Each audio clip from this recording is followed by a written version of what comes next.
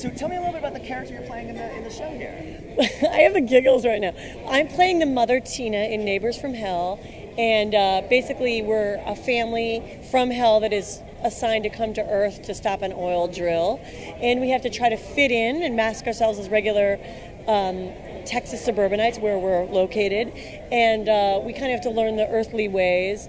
And uh, but, the, but our neighbors give us a real run for our money. We're really like, huh? We're, we're appalled at some of their you know behavior.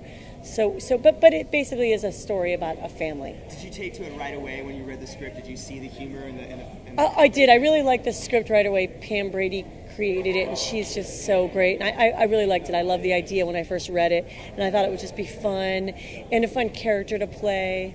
So yeah, so I really liked it.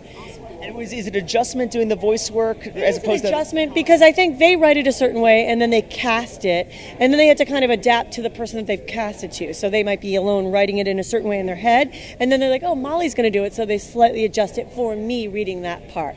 And I think that's the way it works in live action is the same way it does in animation. Is it difficult being? It was a little meaner before and then they were like, oh, they wanted to make it kind of still make her a little more loving. Like she really does love her family and but then she can also be mischievous and mean and act out, you know.